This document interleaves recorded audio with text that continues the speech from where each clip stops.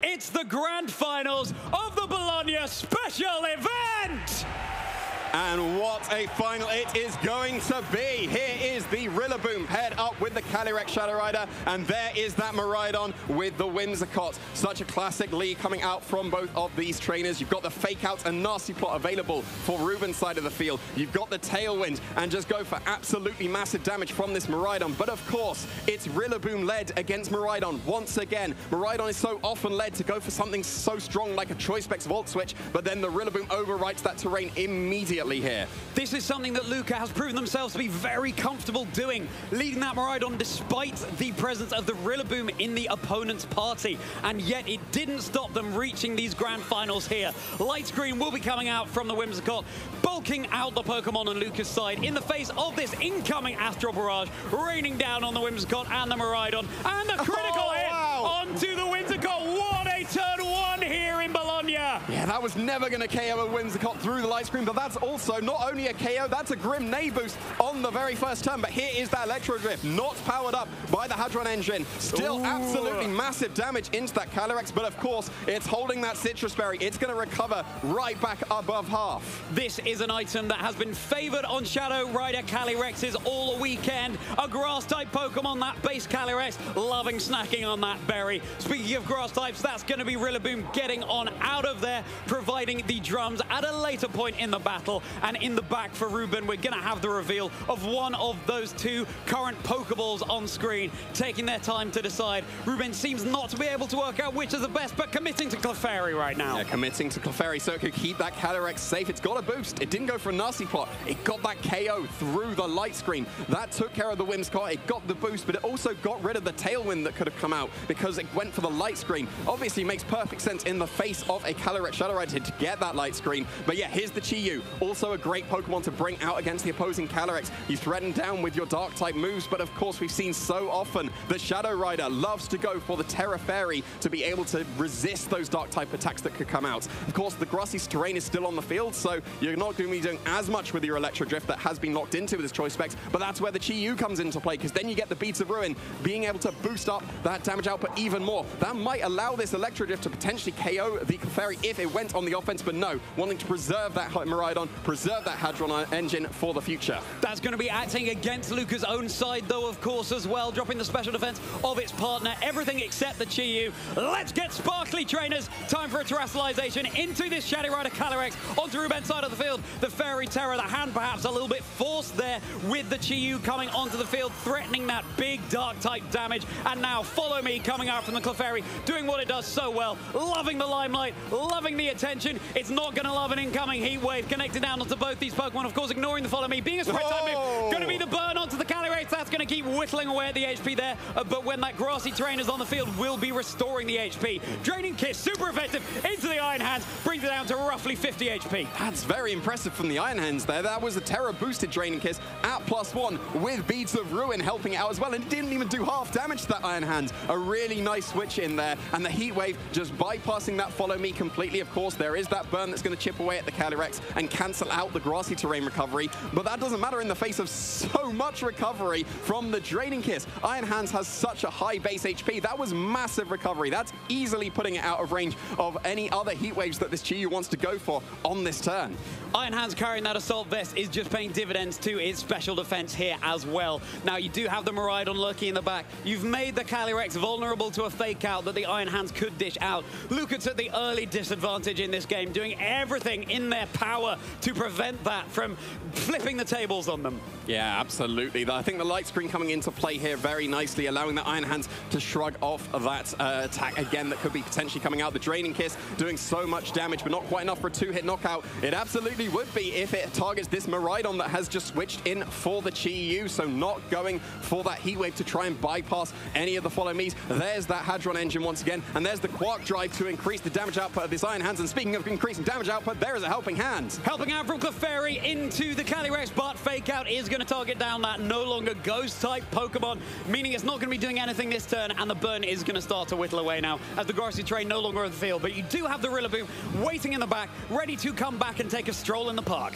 Yeah, that's always the awkward thing when you're using Miraidon. If there is that Rillaboom waiting in the back, it can switch in at any point and really, really reduce the damage output that you have available on the Miraidon. Yes, the Choice Spec still hits pretty hard, and it's going to be close if that would be enough to pick up the knockout on that Calyrex, but it definitely won't be if it's just immediately switching out. Yeah, a hard switch here, no Volt Switch right now. Chi-Yu returning to the field. You've got the light screen up, but you've got the Beads of Ruin. The damage calculations are all over the place here, and it's something these trainers really need to be on top of. Coming to a responding Tera now from Luca, going into the Iron Hands with that Quark Drive boost to its attack as well. This Iron Hands is hitting hard, getting that Flower Pot on its head, changing up the type matchups, becoming that Tera Grass. Clefairy, once again, going for that follow me, redirecting any non-spread type attacks. Astral Barrage, same thing cannot be said for that. Targeting down into both the Iron Hands and the Chew. How much damage is it going to do? Both of them going to hang on. Yeah, both of them going to hang on here. That allows this Iron Hand to heavy slam oh. and get the knockout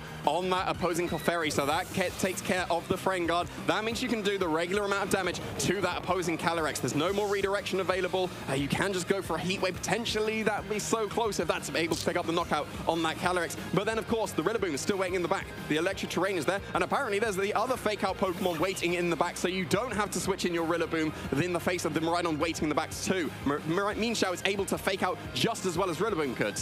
Yeah, saying I will if you will with both the Miraidon and the Rillaboom waiting in the wings to come in and reset that terrain. Mienshao buying a little bit of time here. Very frail Pokemon. That's why it's carrying the Focus Sash. It's going to be able to survive on 1 HP as long as it's not double targeted into. Calyrex going to keep himself safe. Really wise in the face of an overheat coming out. Always risky. Clicking that move. Not 100% accurate. And now Mienshao able to respond with a close combat. Super into Chi-Yu picks up the knockout. Yeah, and that should seal the game here for Ruben. The Calyrex will be able to outspeed both the Miraidon and the Iron Hands. A very smart protect there. That overheat would have absolutely KO'd that Calyrex Shadow Rider very easily. Yes, a Drain Punch now goes into the Mienshao. It takes it down to its Focus Sash because it dropped its defenses from that close combat. But this should just be either a Draining Kiss or an Astral Barrage. Either should be fine to be able to clean this game for Ruben. Yeah, terrain advantage very squarely in Ruben's court now. You can just switch in the Rillaboom at any point. There's no more switching potential over on Luca's side of the field as the light screen wears off to boot because Luca down to their final two Pokemon.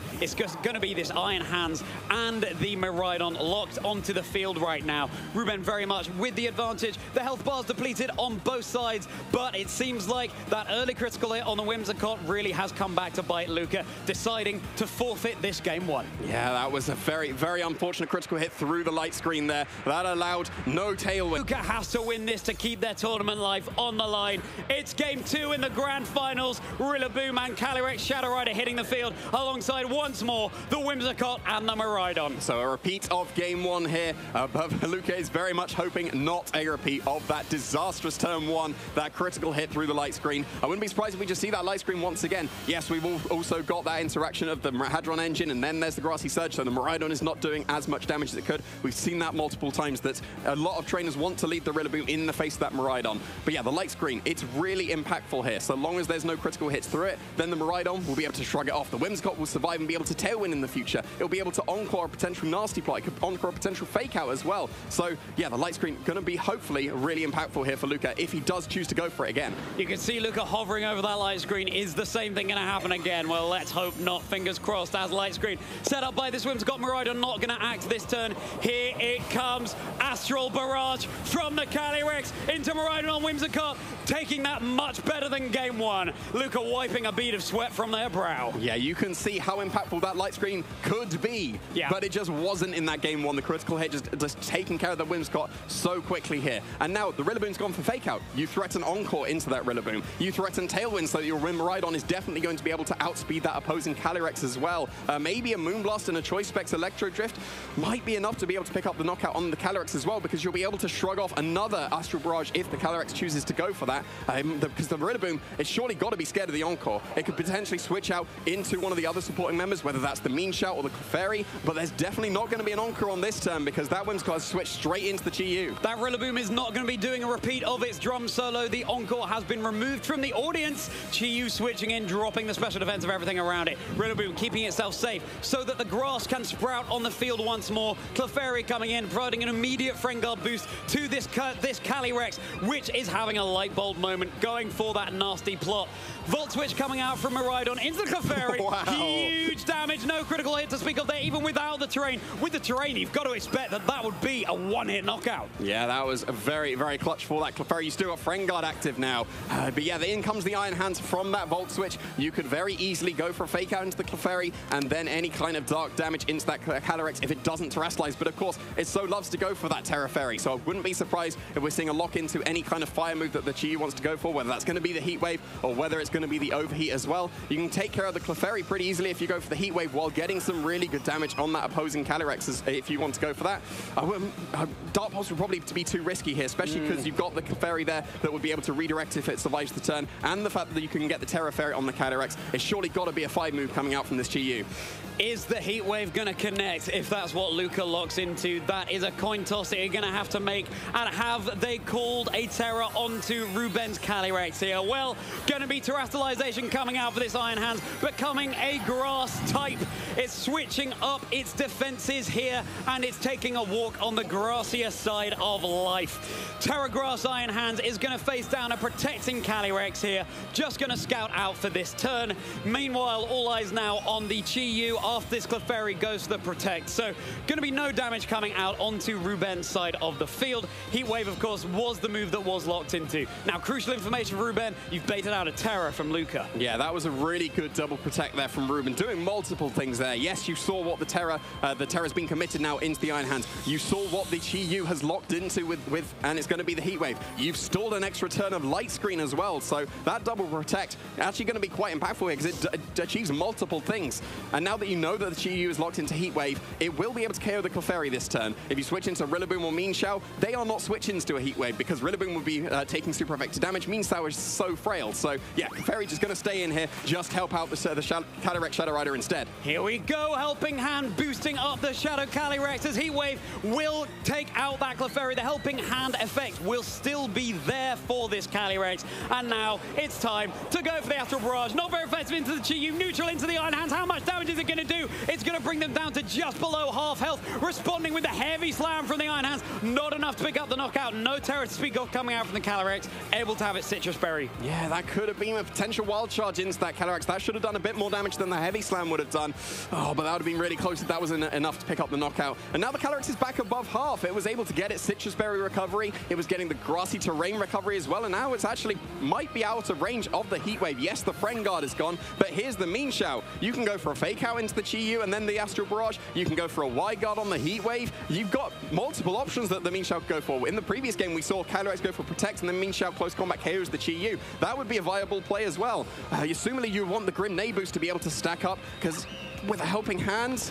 Oh, that's going to be so close if the Astral Barrage would be able to KO the Iron Hands and the Chi-Yu. The Terastallization still in Ruben's back pocket here. It's been burnt over on Luca's side right now. Mienshao here, of course, the Chi-Yu no longer has a Tera option available. It's going to be that Tera Ground anyway rather than Tera Ghost, so it would still be doing decent damage. Heat Wave is no going to come out. out. It's going to oh. be dodged by the Calyrex here. And, and the, the. It's a double dodge. Oh my goodness, that is so unfortunate for Luca. Here comes another Astral Barrage. It's going to not knock out the Chi-Yu, but it is certainly going to take care of that Iron Hands. And now this Calyrex is starting to snowball, getting a boost to its special attack. Yeah, that's so unfortunate. In the finals of the Regional Championship, a double miss coming out from the Heatwave. There wasn't a fake out. There wasn't a wide guard. That could have been massive damage into the Calyrex. It could have been a focus sash brought down for the Mienshao, but no, there's the Mienshao close combat, taking care of that opposing Chi-Yu. Now Luca is down to his final two Pokemon, and Rillaboom is waiting in the back for Ruben. He's lost the terrain war here. Yes, the grass just disappeared, doesn't matter. Miraidon comes in, activates Hadron Engine, and we've said it multiple times. At any point, Rillaboom can just switch in and overwrite that electric terrain once again. So unfortunate for Luca. Where there's a Whimsicott and a Miraidon, there could be a way getting that tailwind boost and making this Miraidon act even more speedily, more electrifyingly than usual with that Hadron Engine. But it seems like Luca's decided it's not worth battling it out. Your winner of the Bologna special event, Ruben Gianzini! And it's gonna be Calyrex Shadow